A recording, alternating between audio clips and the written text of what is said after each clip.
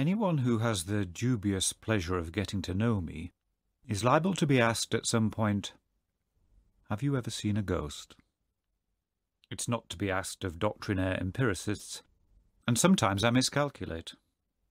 I once pitched an idea for an article about an apparent haunting to an editor I thought I saw eye to eye with. Sorry, he replied. We are a ghost-free zone. I should have guessed, because he's also a humour-free zone. I've never heard from him since. I suppose he assumes I believe in ghosts, which to his mind is like believing in fairies. Do I believe in ghosts? I certainly believe in, that is to say, I appreciate, ghost stories, whether avowedly fictional or purportedly factual, and in this essay I will be referring to the two more or less interchangeably. The ghost story writer M. R. James said, I am prepared to consider evidence and accept it if it satisfies me. And that goes for me too, and I enjoy considering the evidence. As I say, though, I have to be careful who I ask. In her book Night Visitors, The Rise and Fall of the English Ghost Story, Julia Blackburn writes, Children enjoy a certain amount of pleasurable fear. They love ghost trains, horror comics, Doctor Who, and the taste often survives into maturity. Not in my wife's case. She finds ghostliness depressing because it's adjacent to death, and she finds death depressing. As for my youngest son, I don't think he ever did enjoy pleasurable fear. As a boy, he would never tangle with ghost stories, because he had, still has, I suspect, too vivid an imagination, and they kept him awake.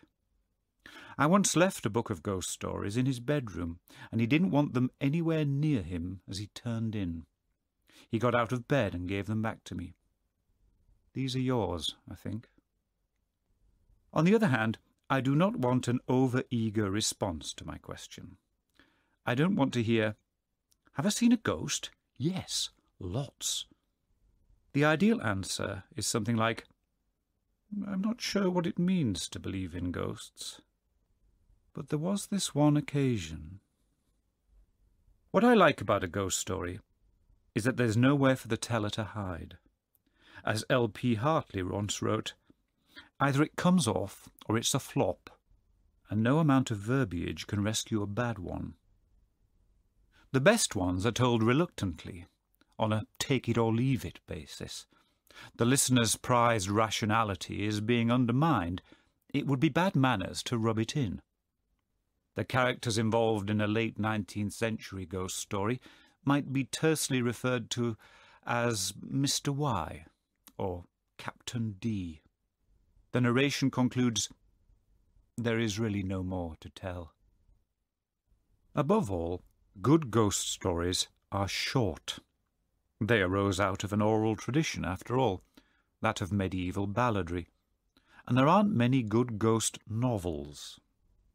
They are to be told around a blazing fire, and shouldn't still be going on when the fire's gone out. A decent account needn't take any longer than the lugubrious Private Fraser took to tell his ghost stories in Dad's army. About two minutes. Any longer, and Captain Mainwaring would have been obliged to cut him off. Here's one told to me by a woman in a wine bar in Bloomsbury. That sounds louche. I should explain that I did know the woman. She'd been staying at a rented house in Provence with her husband. It was late evening. They'd been downstairs in the dining room and having a row. He left the table and went up to bed. After half an hour or so, she put out the lights and went up to join him. As she climbed up the stairs, she was passed by her husband, who was coming back down the stairs. Since they were not speaking, she didn't ask what he was doing. When she reached the bedroom a couple of seconds later, her husband was sitting up in bed reading. Strictly speaking, she had not seen a ghost, but a fetch a manifestation of a living person. But that's fine by me. The best collection of purportedly true ghost stories that I know is called Phantasms of the Living, and we'll be looking at it in more detail in a subsequent essay. Here is another good, compact ghost story told by Robert Graves in the Christmas 1941 number of Picture Post. He recalled staying in a house at Braintree in Essex that had once belonged to William Benlowes, Sergeant at Law in the reign of Queen Mary. The house had what Graves called a bad feng shui. The spare bedroom harboured, as Graves wrote, something that wakes one up with a start at about quarter to two in the morning, the distinct presence of someone, it seems to be a woman, in great terror. Some time after his stay, he wrote, the beams were scraped, and a small piece of parchment was found in a bolt hole. It was a Latin prayer in Tudor handwriting, the conventional charm against evil spirits. Omitis Jesu liberu nos. Sweet Jesus, deliver us.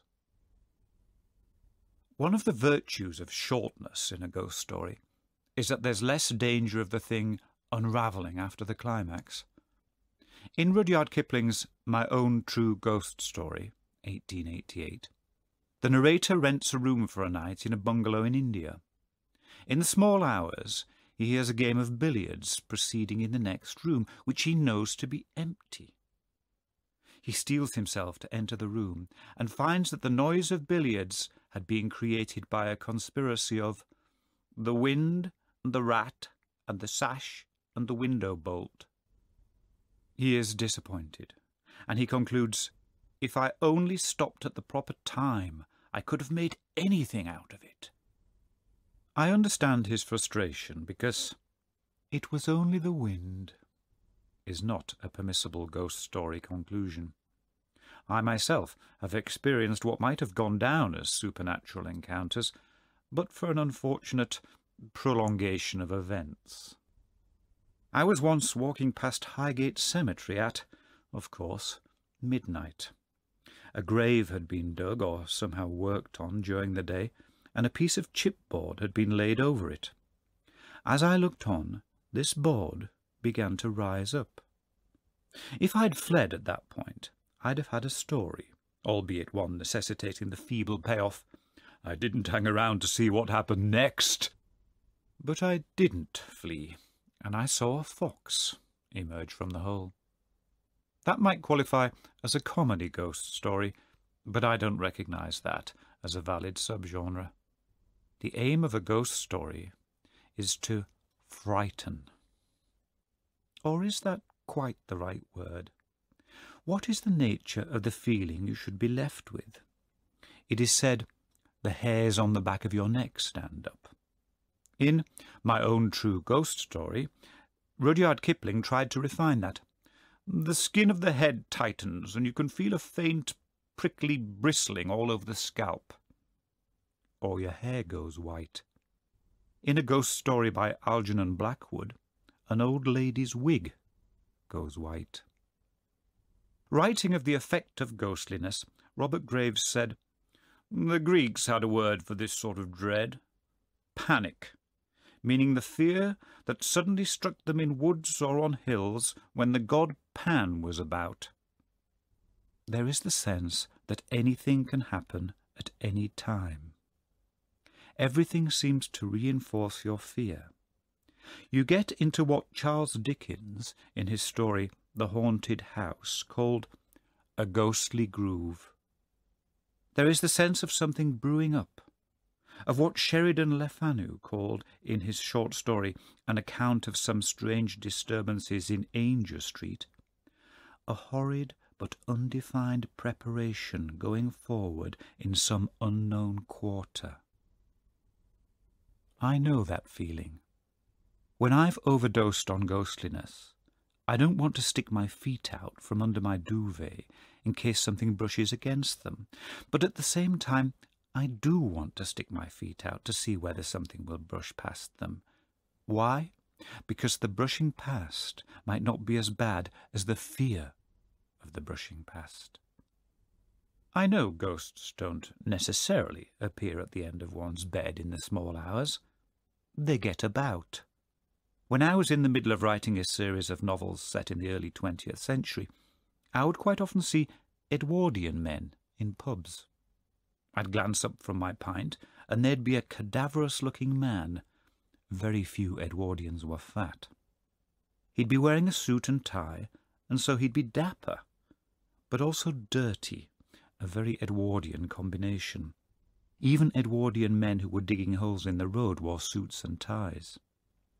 Then he'd smile, revealing black teeth, and that seemed to be the real clincher, because modern dentistry has almost entirely eliminated black teeth.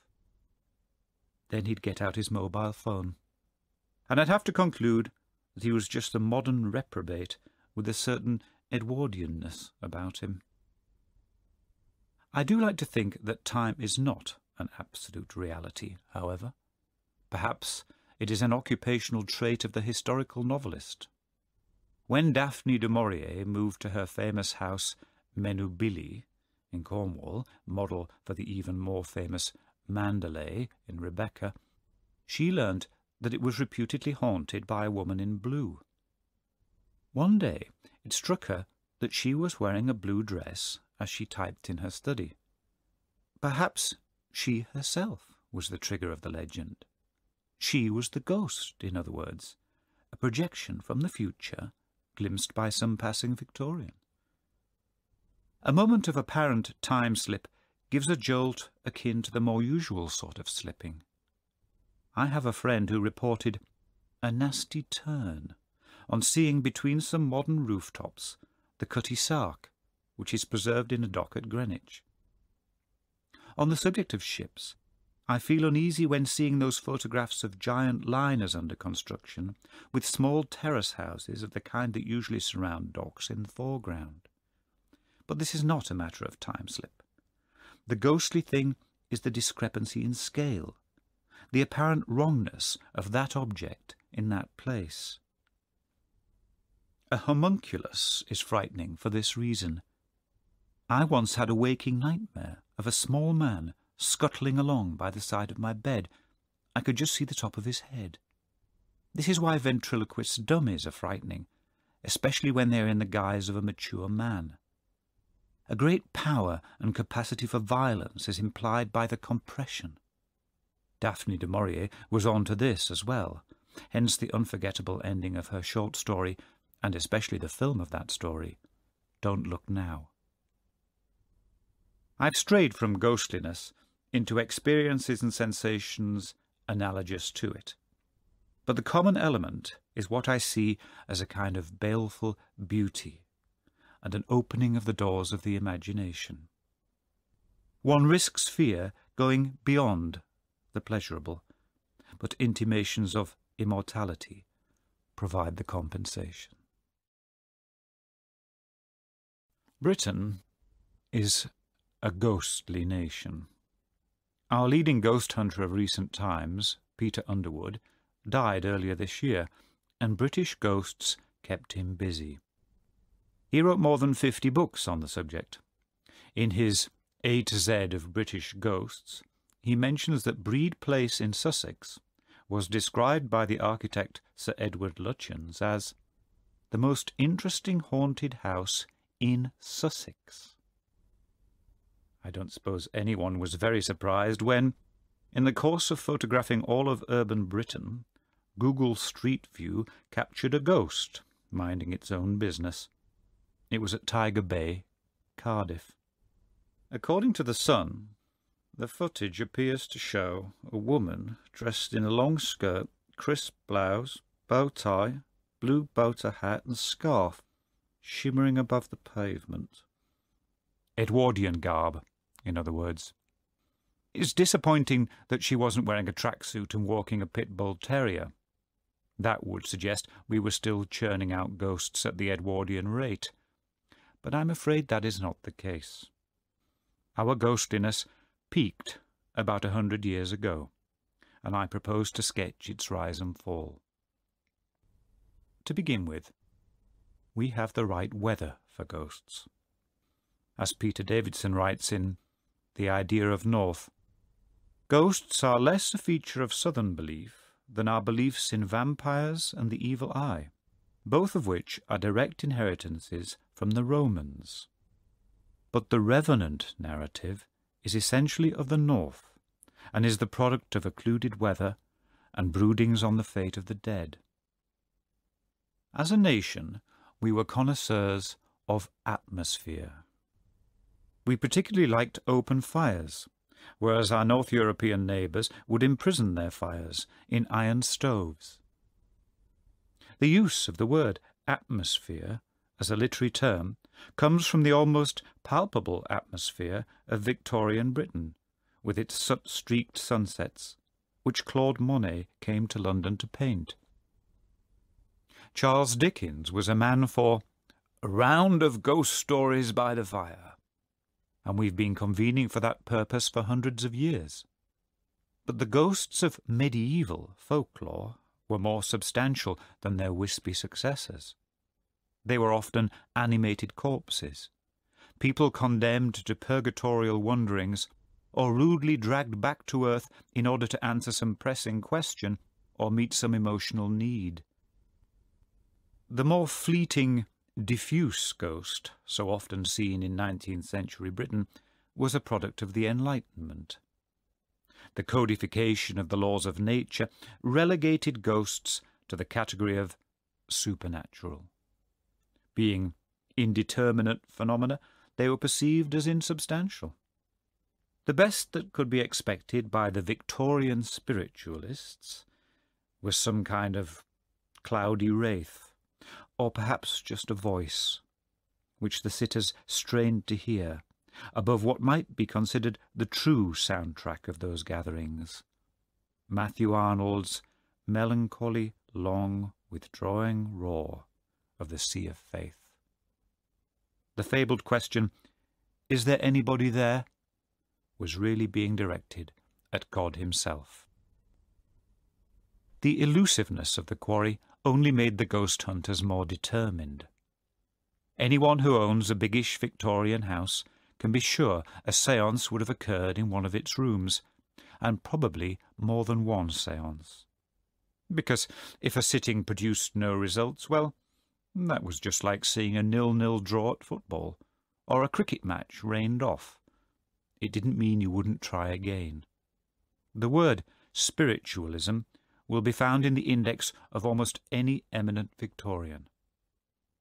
The names of the leading spiritualists, the actual mediums, have generally not survived.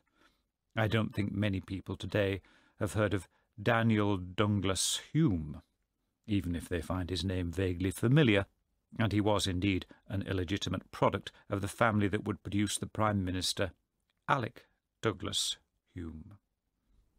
Daniel Dunglas Home was born in Scotland in 1833, but raised by an aunt in Connecticut after his mother died. He said that his cradle had rocked itself. Soon other people began to believe such things about him. He returned to Britain in 1855, taking up residence in Cox's Hotel, Jermyn Street, and beginning his career as a physical medium. That is, the spirit did not manifest in a straightforward way, but enabled Home to do, well, the kinds of things a skilled magician would do. Disembodied hands appeared. Musical instruments were played invisibly. Home elongated himself by up to ten inches. A hundred members of Victorian high society attested in writing to having seen him levitate.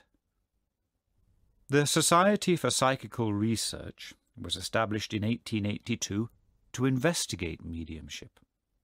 You might say it was a society of skeptics, but it wouldn't have been formed had not the spiritualists been deemed worthy of study there was a big overlap between the SPR and the British establishment. Arthur Balfour was president of the SPR in 1896. This was no impediment to his becoming Prime Minister in 1902. From 1875, he had been holding seances at his house, 4 Carlton Gardens, SW1. His diary records that at the height of the constitutional crisis of 1911, when he was leader of the opposition, Mrs. B came to dinner at Carlton Gardens to talk occult with Gerald and me. Gerald was his brother, also a president of the SPR. The history of the SPR also shows the entanglement of British scientists with ghost hunting. SPR member Sir William Crookes, who in 1861 discovered the chemical element thallium, gave the mediumship of Dunglas Home the stamp of approval after a scientific appraisal. Many in the SPR had a soft spot for Home, but Crookes went further out on a limb by endorsing the much crasser Florence Cook. She manifested a spirit called Katie King, who did look similar to Florence, probably because she was Florence, who, in the darkness of the seance room, escaped the cabinet in which she was supposedly confined and sometimes tied up. There was never any shortage of Victorian gentlemen willing to tie Florence up. Although a married man, Crookes moved Florence Cook into his house, where he took fifty-five photographs of Katie King. And so, in a way, he entered a ménage à trois with a woman and a female ghost. None of this stopped Crookes from being knighted, or from being given the Order of Merit in 1910. Crookes was important in the development of radio. In his book Signor Marconi's Magic Box, Gavin Weightman writes, Crookes had predicted with remarkable foresight the development of wireless telegraphy. Another SPR member, Oliver Lodge, is described by Weightman as a distinguished rival of Marconi, and Lodge himself might have been the begetter of radio had he not been distracted by spiritualism. Lodge published a book called Raymond or Life After Death about his conversations with his dead son. Spiritualism was analogous to radio in that it was a new form of what could be regarded as ethereal communication over a long distance, a particularly long distance in the case of spiritualism. The telegram and the telephone also had psychic counterparts in the notion of telepathy, unspoken communication between minds. The idea would be pursued by men at the very heart of the British intellectual establishment. They were based at that unofficial annex of the SPR's London HQ, Trinity College, Cambridge. As conceived by most of its adherents, telepathy represented a lowering of ambitions. Attempted communication with the definitely dead had produced too many embarrassing scenes, but telepathy served the goal of blurring the line between life and death in a more modest way, since it might occur between the living and those on the point of death. Many spiritualist mediums disgraced themselves during the Great War by exploiting the bereaved. Thereafter, spiritualism was usually seen as tawdry. In the film of 1938, London Belongs to Me, Alastair Sim plays a spiritualist medium called Mr. Squales. His hair is dyed, and the lobster paste sandwiches served at his seances are really just fish paste. He is reported on by an official of a psychic society. The facial features shown in what he said was an astral projection of the late Lord Birkenhead turned out to be those of a well-known professional footballer the Society for Psychical Research survives, and the emphasis continues to be on parapsychology. It remains a serious society, with libraries in the plural. Aspirant members fill out an online form, and the first options under title are still Doctor and Professor. Membership is at a creditable 900 or so, but it was 1500 in its late Victorian heyday. The list of recent past presidents includes many academics, but no prime ministers. The College of Psychic Studies, founded a year later in 1884 by the Central Association of Spiritualists, wears a more New Age aspect and is booming. Psychic studies have come a long way since the college first formed, is the problematic claim of its literature. The talk is of meditation, mindfulness, healing. Photographs of the Victorian mediums are kept in the basement. The same scene, the opposite, you might say, of a tableau vivant, recurs many times. A potted plant, a medium, slumped in the dark with the effort of having elicited a manifestation in the form, perhaps, of a face, apparently floating and swathed about with white cloth. Mediumship survives at the college, but the quarry is spirit in general, rather than the personalised spirit of Uncle Fred. Consultations, as they are called, are held behind closed doors marked Do Not Disturb, which is unfortunate for those of us who would rather like to be disturbed. The ghost trail, in short, has gone cold. Unless, returning to the connection between ghosts and technology, we are all to become ghosts in the machine. In his book, The Immortality Commission, John Gray traces a line between the SPR men of the late 19th century, some of whom believed that telepathy might lead humans to immortality as inhabitants of a realm of pure thought, and modern-day scientists like Ray Kurzweil. Kurzweil is a proponent of the singularity, whereby humans will merge with computational devices and so become immortal.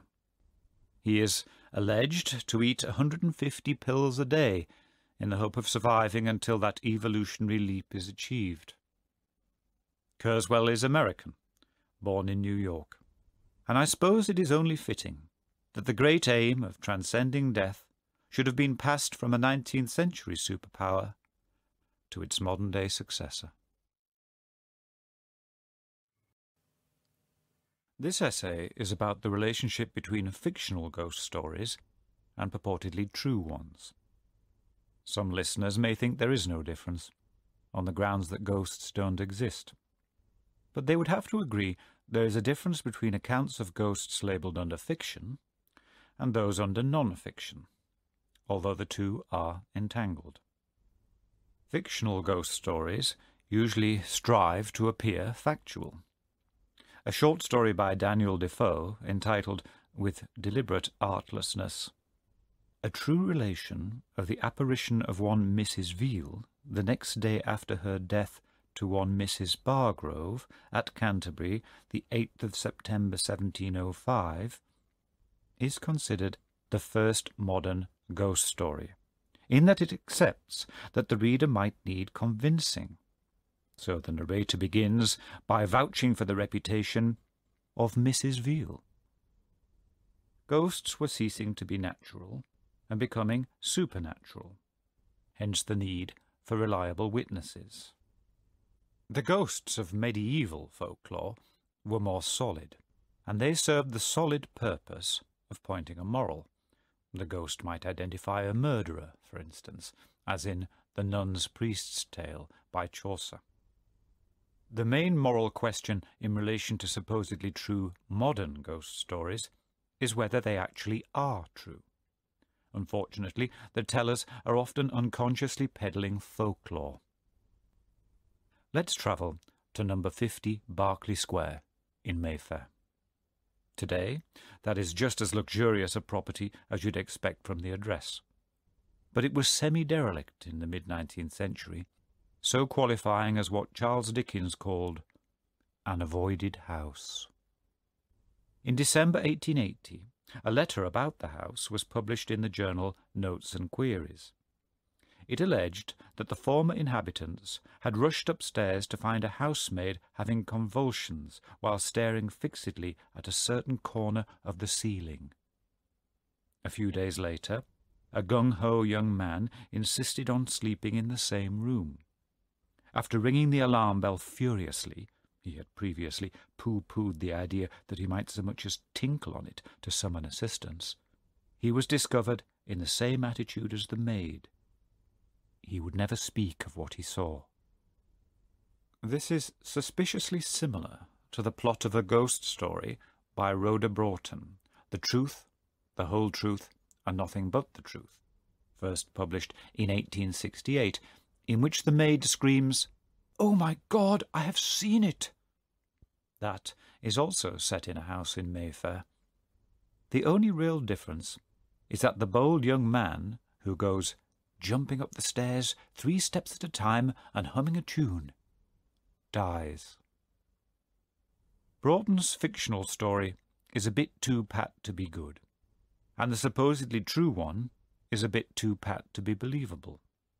Supposedly true ghost stories are more plausible if they are not pat, if they don't meet the requirements of fiction, being too short, for instance, or too strange.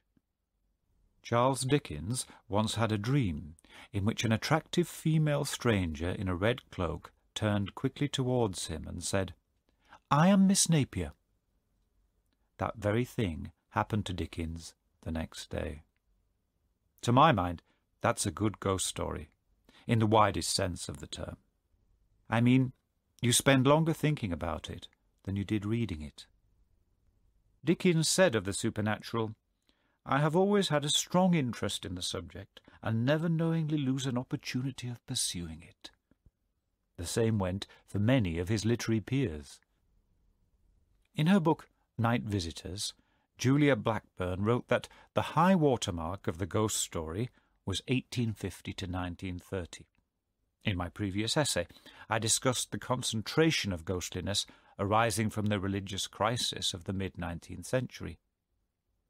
The famous writer of the time who did not dabble in ghost stories was the exception. I'm not sure Anthony Trollope ever did.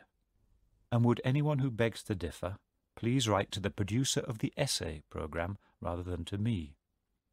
But he certainly attended seances, as did Thackeray, Dickens, George Eliot, Oscar Wilde, Conan Doyle. There were varying degrees of scepticism among them.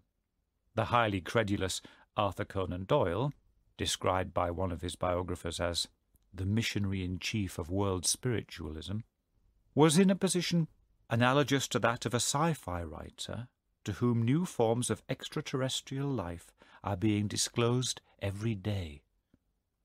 He said he would like to collaborate on a story with the spirits of Dickens and Oscar Wilde. Perhaps he had a ghost story in mind. Actually, Conan Doyle only wrote a handful of fictional ghost stories, presumably believing the truth to be so much stranger than anything fiction could come up with. Dickens was more sceptical, but his fictional ghost stories are so vivid that they must have come from deep within him. In his story, To be Taken with a Grain of Salt, the narrator is reading of a murder case. The discovery of the body had been made in a bedroom, and when I laid down the paper, I was aware of a flash, rush, flow.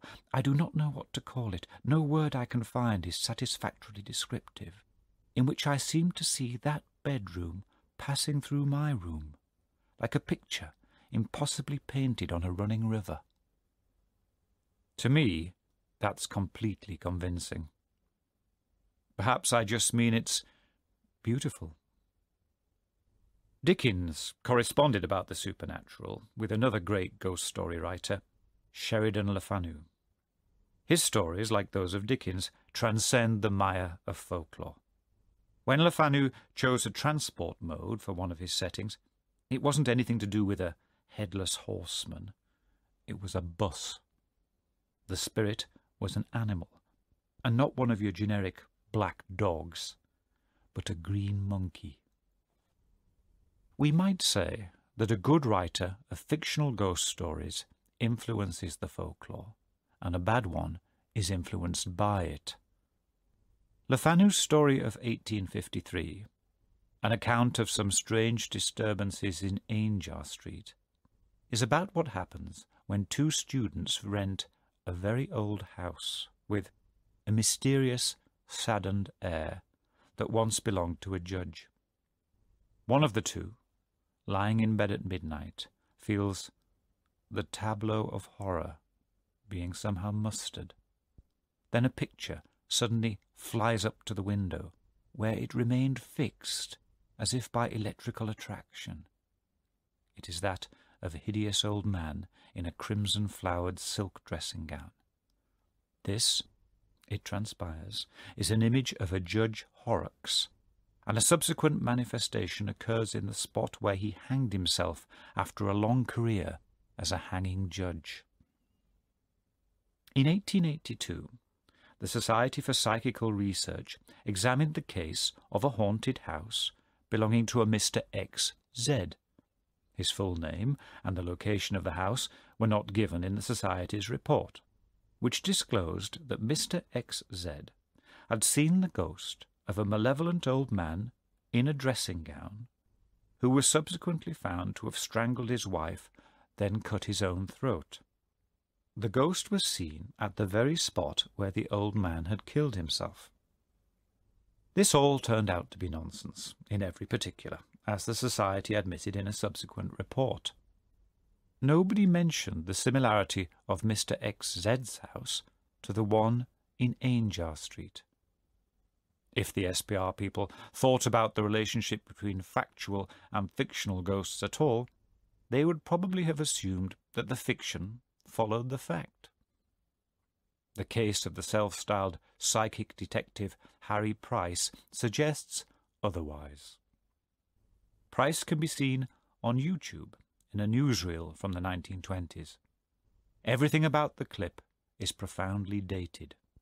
The strained RP of his delivery as he talks about psychic phenomena, the cigarette he smokes while doing so, the grandfather clock that chimes, the fact that he chooses to be filmed in his library of 12,000 volumes.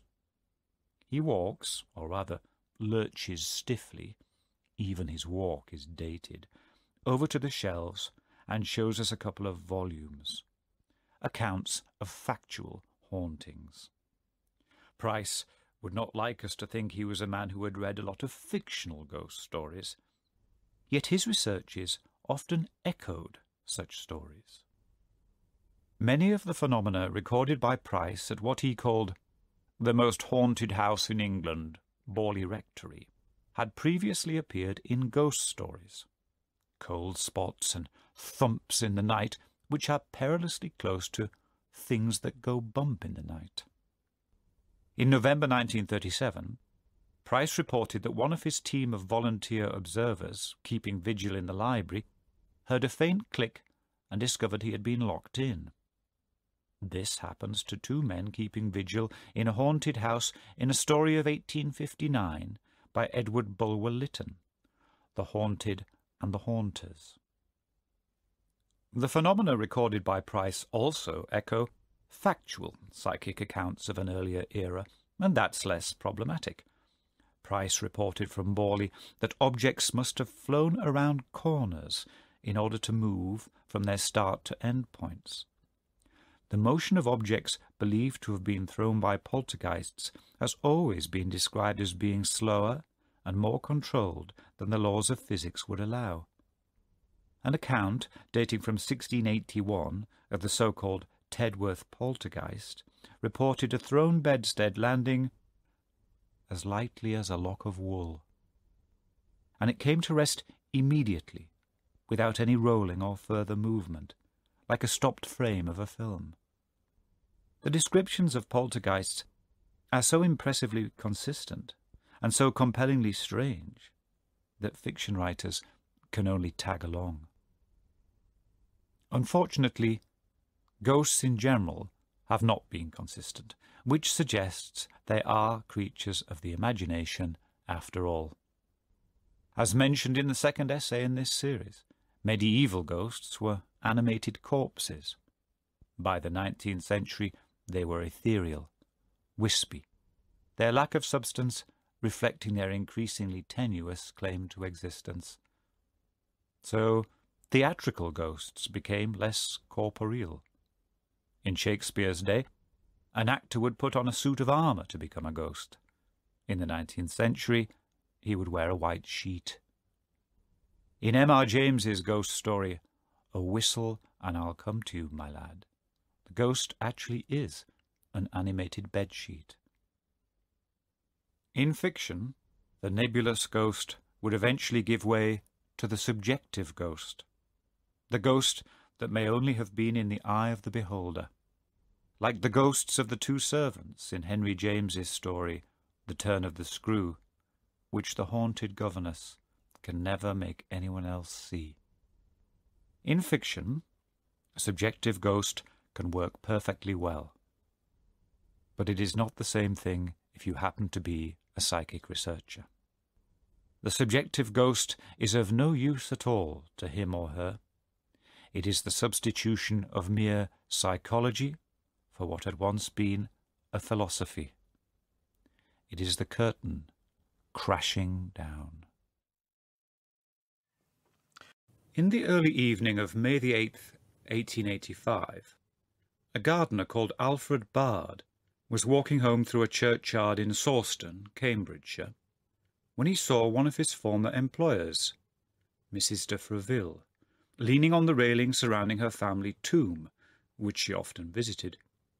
She was dressed, reported Mr. Bard, much as I had usually seen her, in a coal-scuttle bonnet, black jacket with a deep crape, and black dress. She was looking full at me. Her face was very white, much whiter than usual. Alfred Bard stumbled slightly, and when he looked up again, Mrs. de Freville was gone. He discovered the next day that she'd died two hours before he'd seen her. In late 1868, a Captain P was discussing with a lady of his acquaintance the question of making compacts to appear after death. I doubted whether such compacts could be fulfilled. She stoutly maintained they could be. They agreed to make such a compact.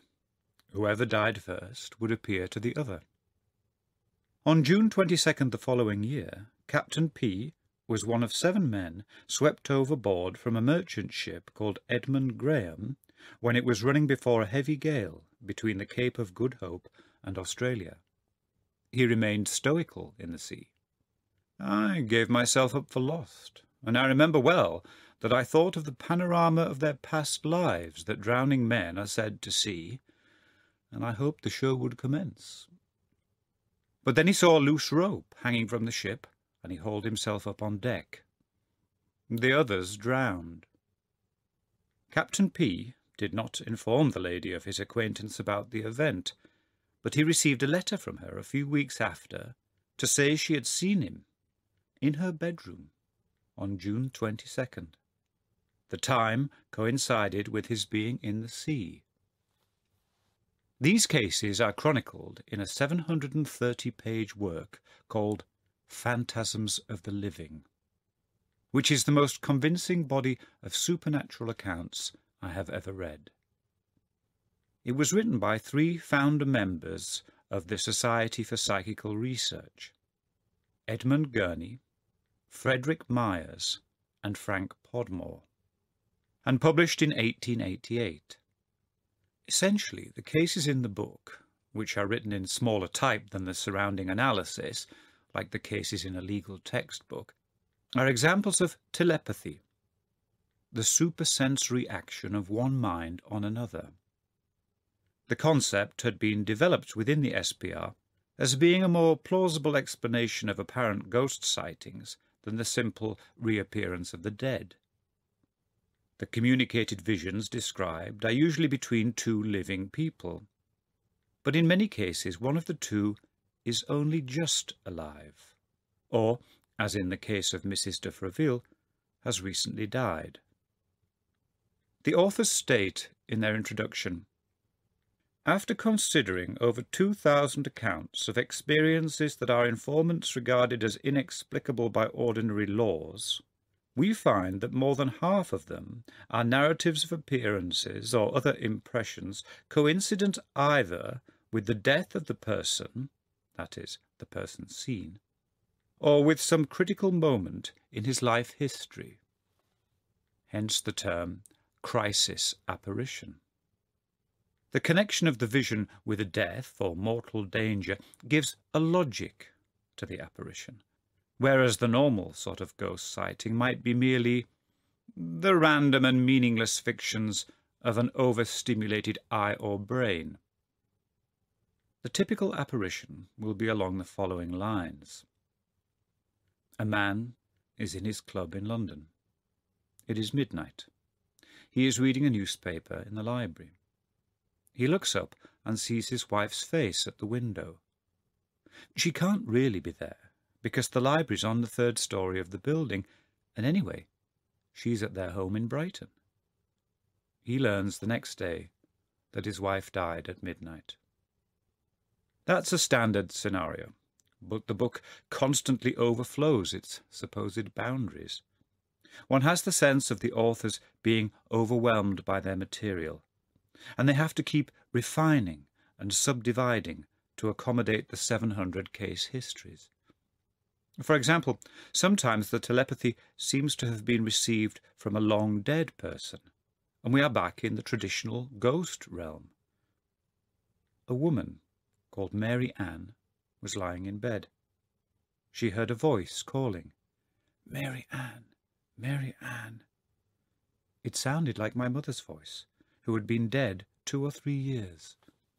Mary Ann climbed out of bed and saw smoke on the landing.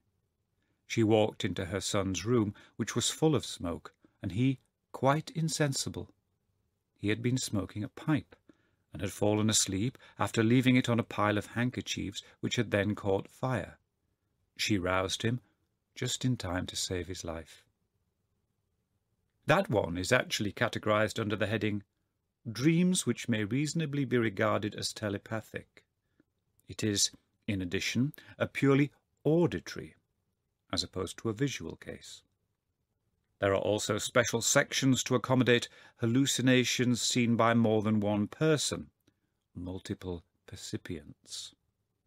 And sometimes the hallucination is not of a person, but an object, especially carriages, which creates the problem of how an inanimate object could project a telepathic message. Some of the most bizarre accounts fall under this head. A family of three see a closed carriage pulled by two horses rattling up their drive. It appears to be about to crash into a nearby stream. One of them calls out a warning, and the carriage stops, and somehow turns around in an impossibly narrow space. It then runs over the lawn and comes to a stop. The two men sitting on the box the driver and his companion, remain absolutely motionless and silent when addressed. One of the three percipients walks up to the carriage and sees through the window a stiff-looking figure sitting up in a corner and draped, apparently from head to foot, in white. The carriage starts up again and rolls away beyond some outbuildings. Another carriage, seen passing in front of another country house, has two footmen standing on the rear step. Both their faces are black. They are not black men. It's just that their faces are somehow blackened. No message is attached to the visions. No news of a specific death or crisis is conveyed by them, unless I've missed it in the dense explanatory notes that surround all the cases. The story of Gurney, Myers, and Podmore, and the production of Phantasms of the Living, is well told in a book by Trevor H. Hall, The Strange Case of Edmund Gurney. Myers, Fellow of Trinity College, poet, parapsychologist, and the dominant figure in the early SPR, recruited Gurney to psychic studies. Gurney, like Myers, was academically brilliant, he was also fated for his personal beauty and the nobility of his character. George Eliot modelled the high-minded Daniel Deronda on Gurney. But he was prone to melancholia, and his unworldly nature made him easily malleable. Myers delegated most of the work on phantasms to Gurney, for whom the book simply had to be a success. He'd had three career false starts, in music, law, and medicine. Whenever it became apparent that the SPR had been duped by some psychic event that was really no such thing, Myers shunted the task of apologizing onto Gurney. But there was further ignominy when Phantasms was published. The book was attacked for being a series of anecdotes insufficiently verified. A few weeks later, in June 1888, Gurney was forced to report that the supposed thought transference between the four daughters of a Derbyshire clergyman, the Creery sisters, on which the telepathy thesis had largely rested, had been found to be a fraud. There was one remaining prop for the credibility of phantasms of the living. Apparent demonstrations of thought transference between a group of youths at Brighton. Late on in that month of June 1888, Gurney seems to have discovered that this too was mere charlatanry. He couldn't face writing another retraction. His life's work had come to nothing. On the night of Friday, June 22nd, Gurney checked into the Royal Albion Hotel in Brighton. He was found dead from chloroform poisoning the next afternoon. Frederick Myers died of natural causes in 1901 but he seems to have lived at the centre of a vortex of suicides.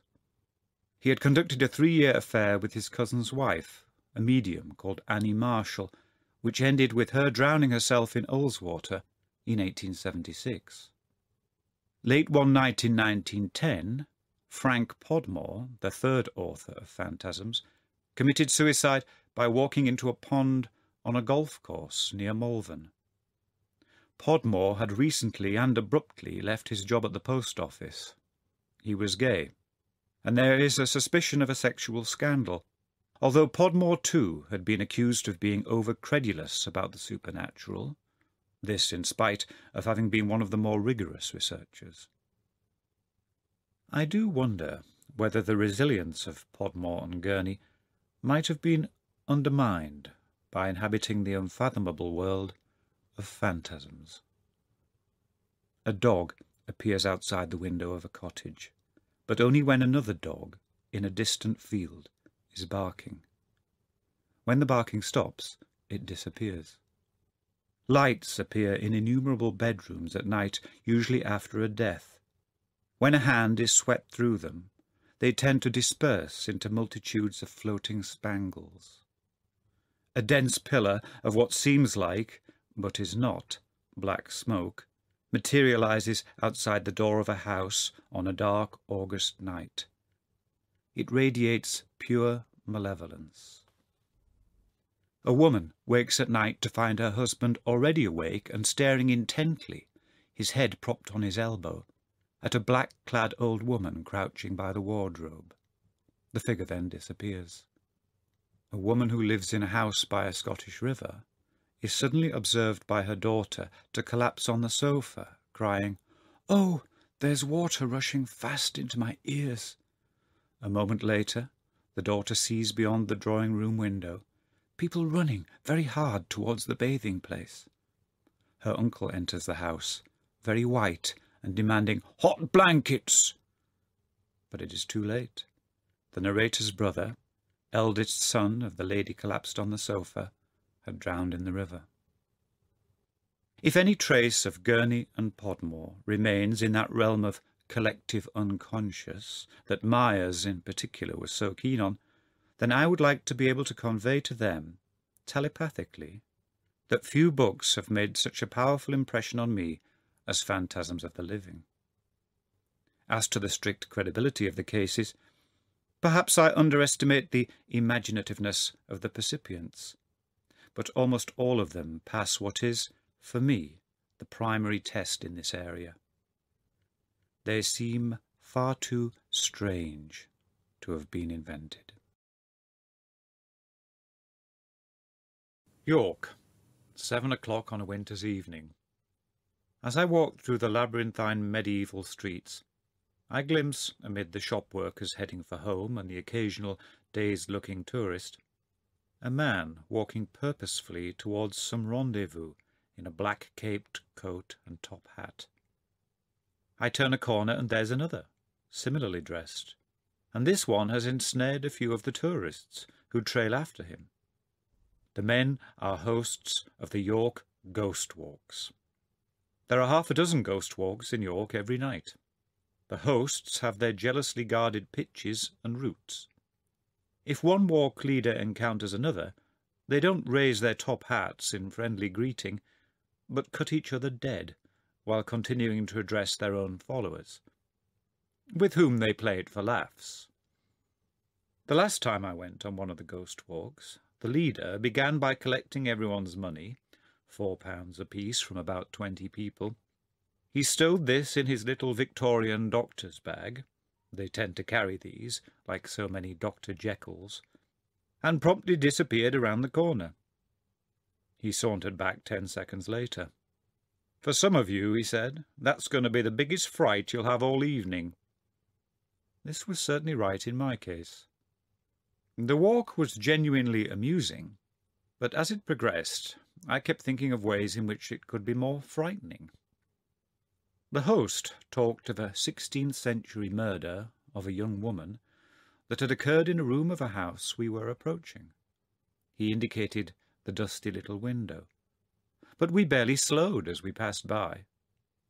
I'd have had a collaborator in that room, suitably made up and posted behind the window.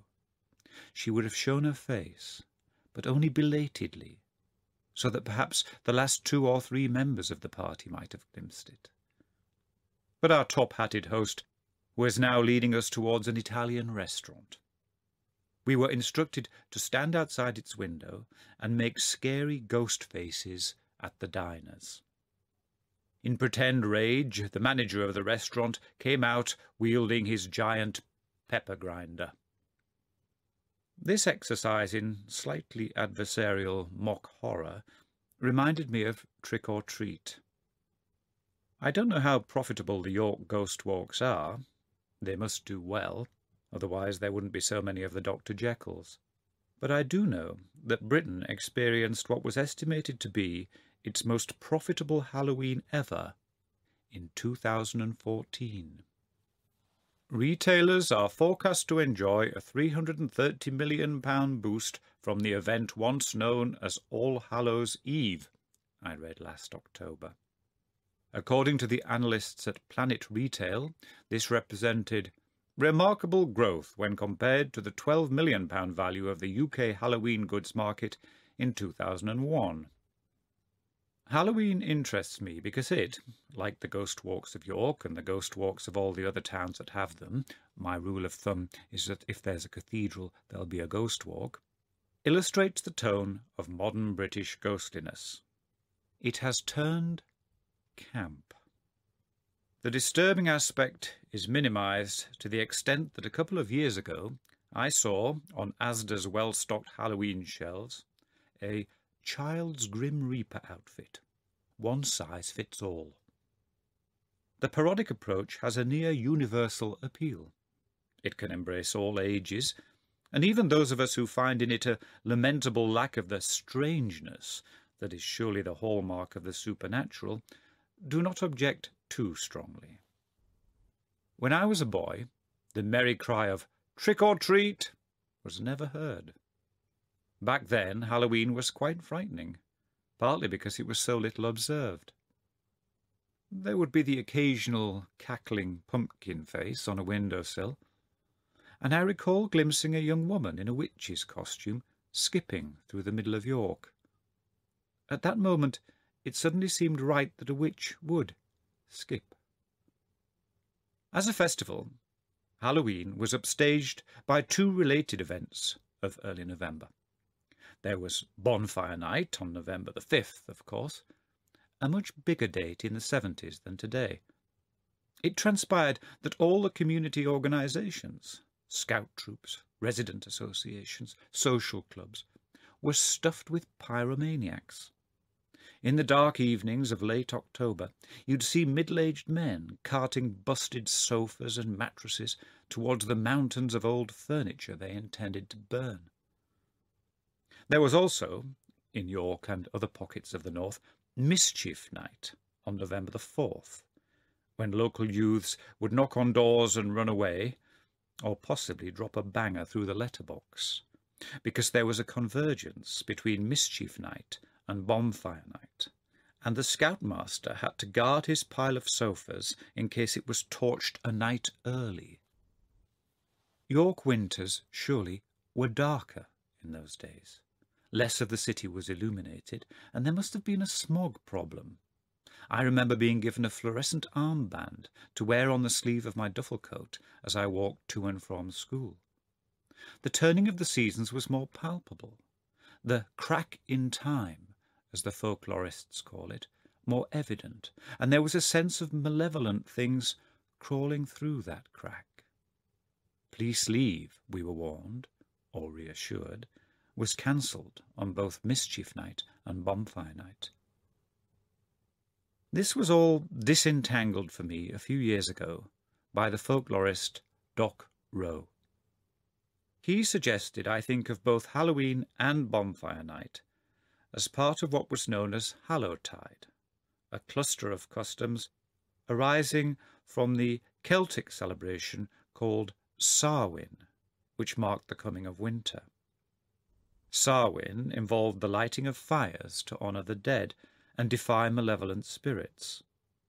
The medieval church considered this diabolic and sought to co-opt the event for Christianity by instituting All Saints' Day on November the 1st, on which the sanctified are honoured, and All Souls' Day on November the 2nd, a more democratic honouring of all Christian souls. Doc Rowe explained that by tarring Halloween with an occult brush, the Church made it an occult event. Customs of licensed naughtiness, of misrule or world turned upside down, which had been associated with Hallowtide, were practised with greater relish now that the Church had prescribed them. On All Souls' Day there was soul caking, young lads would knock on wealthier people's doors and offer to say prayers for the departed of the house in return for sweetmeats. The householder might think the callers did not look very pious, what with the great clubs they carried over their shoulders, but he would be well advised to agree to the deal. These traditions were taken to America by Scottish and Irish emigrants in the nineteenth century, and they have returned to us in the form of trick or treat. Doc Rowe believed the Americanized Trick or Treat came over here after the broadcast on BBC Two in 1972 of an episode of a documentary series called Look Stranger. It showed children on the American air base at Woodford in Suffolk doing trick or treat. Within two years, Doc Rowe said, all the tabloids were telling people how to dress up for the occasion. Whereas a modern-day health and safety officer would have been appalled by the old bonfire night. Such a person looks with approval on the new Halloween. The children are usually chaperoned by their parents, and they only call on houses where an illuminated pumpkin signifies that the inhabitants will play along. Trick or treat is a purely rhetorical cry. The trick is seldom resorted to unless we count the very modest scare caused by the sight of ten six-year-olds dressed up as the undead. The only harm that occurs is to the children's teeth, as they consume buckets full of customized sweets, such as trick-or-treat Jaffa cakes, a ghoulish blend of dark, crackly chocolate and light sponge with a scarily zingy orange centre. Halloween is now the biggest seasonal retail opportunity after Christmas, and most ghostly projects fall into its gravitational pull. You've written a collection of ghost stories, publish them at Halloween. The only other possibility is Christmas. Christmas is the biggest retail opportunity, but its supernatural aspect is not so crassly exploited, unless you count the immortal hero of the piece, Santa himself. The Christmas ghosts are more subtle than those of Halloween, the connection between ghosts and Christmas being more tenuous. Proverbially, ghosts did not appear on Christmas Eve. Horatio in Hamlet says, No spirit can walk abroad in the season wherein our Saviour's birth is celebrated. Witches and fairies were also put out of action. But between 1971 and 1978 there was A Ghost Story for Christmas on BBC One. This was my introduction to the work of M.R. James. Although my favourite James tale, the story of a disappearance and an appearance, was not one of those filmed. The cumbersome title has the true hallmark of ghostliness, I think, an indecorous, almost violent quality. It features a dreamed Punch and Judy show that begins with the deep tolling of a single bell, after which the curtain flew up. That too is just right. And the drama began. When Punch hits his victims, there is the sound of bones giving way. After the final murder, Punch comes and sits on the footboard, and fanned himself, looking at his shoes, which were bloody. A moment later, Mr. Punch is being pursued through woods by a sturdy figure clad in black. His head was covered with a whitish bag. The story for 1976 was The Signalman by Charles Dickens. Dickens coloured in what had been a rather pallid festival. He made Christmas cosy. As Peter Ackroyd wrote in his biography of the man, Dickens's insecure childhood gave him an acute sense of, and need for, home. He made Christmas cosy in part by making it ghostly. The eponymous functionary of The Signalman, which Dickens published at Christmas 1866, is deeply tormented by his precognition of a train crash. And no wonder since Dickens had nearly been killed in a train crash the year before. Early on, the narrator calls down from the top of the railway cutting to the signalman. Halloa! Below uh, there! Just then there came a vague vibration in the earth and air, quickly changing into a violent pulsation, and an incoming rush that caused me to start back, as though it had force to draw me down. When such vapour as rose to my height from this rapid train had passed me, and was skimming away over the landscape, I looked down again, and saw him refurling the flag he had shown while the train went by. There's tremendous latent energy in that. I particularly admire the skimming away of the steam. There is nothing camp about this tale.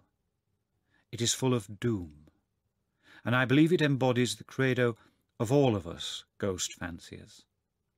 The dead must be present among us, that we might better appreciate our lives.